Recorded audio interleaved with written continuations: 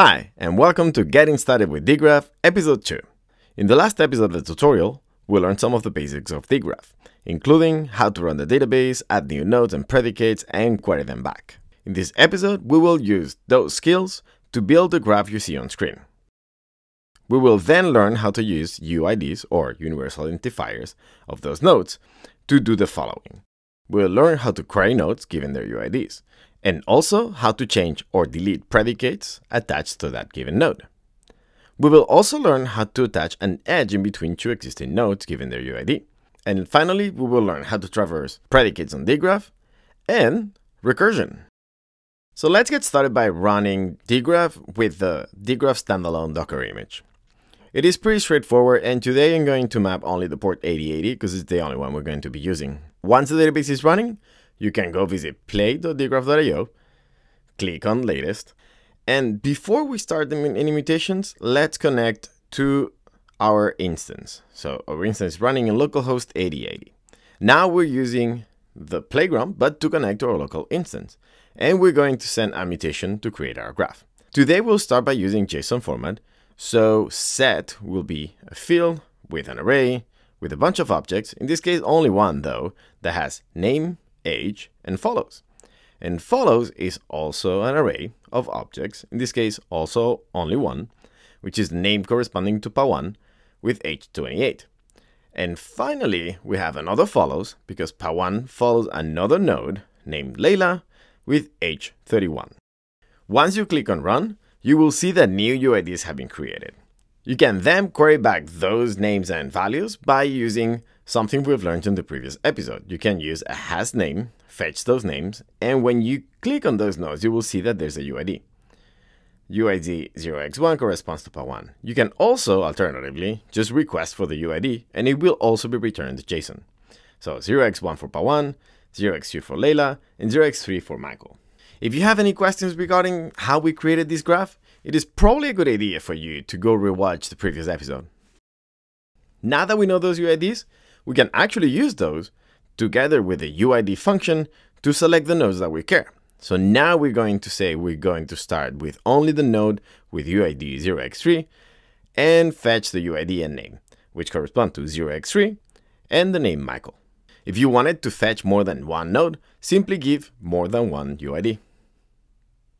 Okay, so now that we know how to create a graph, create new nodes and predicates among them, let's figure out how to update them. Let's say that Michael is not 41 anymore, now he's 42. Congratulations and happy birthday, Michael! Happy birthday! But how do we reflect that on our database? Well, let's go back to the query that we had before where we're fetching only Michael. We can see that Michael is 41. And now we're going to use a new mutation, so let's click on mutate and we are going to pass a new array with a single object that has the UID 0x3, which corresponds to Michael, but H42. When we run this mutation, we will see that success, and when we run the query again, we will get the updated age. In the same way we updated an existing predicate, we can also add a new one. So let's say Michael is from Australia. We can represent that by attaching to the node with UID 0x3 the country Australia. And now when you fetch it back, you will receive it. And not only that, but you could also see it on the schema. Okay, so now we learned how to create new predicates from a node given its UID. But how would you create a predicate in between two existing nodes? Let's say Layla started following Michael. We know that this relationship between them has to be represented by creating the follows edge between them. So we can see that Pawan has 0x1, Layla 0x2, and Michael 0x3.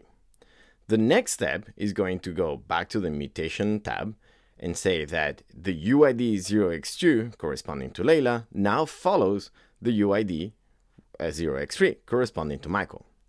When you run this, you will see, uh, if you go back to the query and you also ask for follows and the name of the person followed, you should be able to see that now Layla follows Michael. In addition to that, if you click on the graph tab, you will see a representation, a graphical representation of that loop.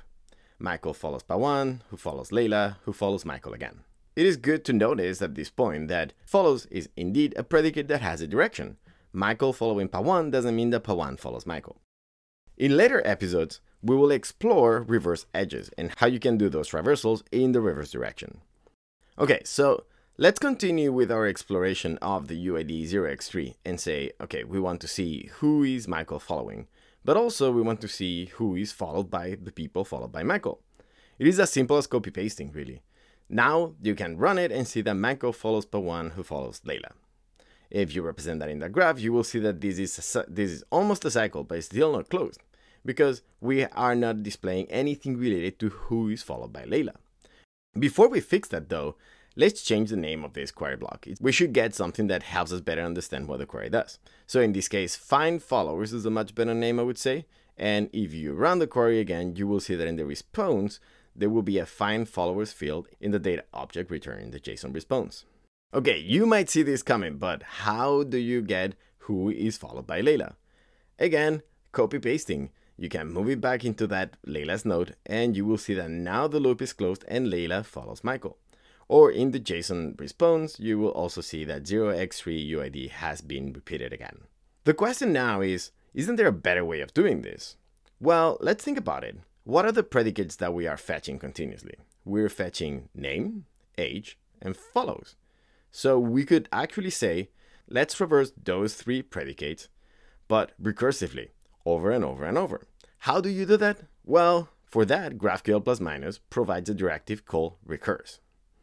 To use it, simply keep those three predicates that we want to use and add recurse. To have exactly the same behavior as we had before, we could say depth 4. And now you will see that the response is the same because we are saying we want to fetch up to 4 iterations of that recursion.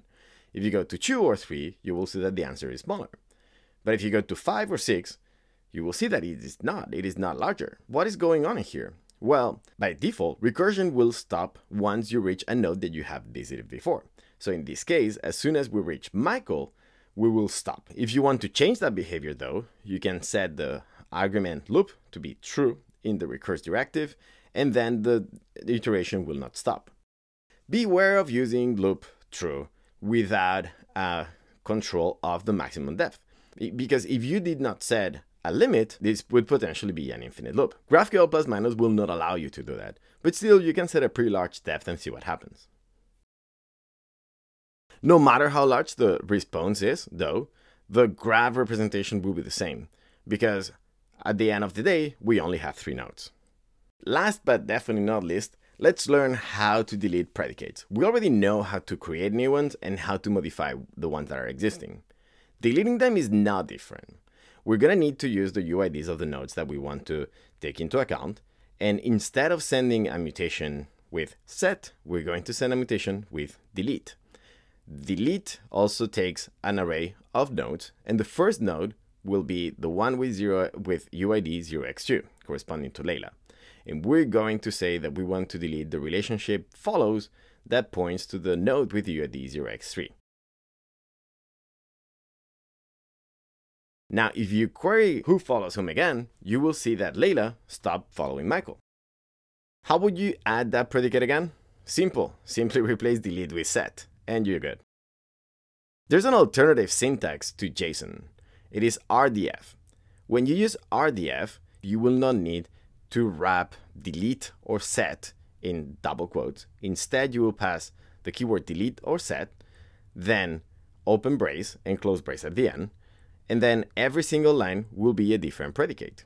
So in this case, we're going to say we want to delete the predicate going from 0x2 with name follows and going into anything. We can do a star. This will delete any predicate follows coming out of Layla. And this actually would be exactly the equivalent to 0x3 since that was the only value we had. So you can also do that, right? But then if you wanted to create that predicate again, replace delete with set and you're good again. Okay, so it is time to wrap up. In this second episode of the Getting Started with dgraph tutorial, we'll learn about the operations using UIDs. We'll learn how to start fetching UIDs, how to create predicates coming from a UID, create predicates in between two UIDs, and even deleting them. We also learn about how to do traversals across many levels, both by getting very deep queries and also the recurse directive. Before we wrap up, here's a sneak peek into our next tutorial. Did you know that you could search predicates based on their value? Does that sound interesting? Then see you all soon in the next tutorial. Till then, happy graphing!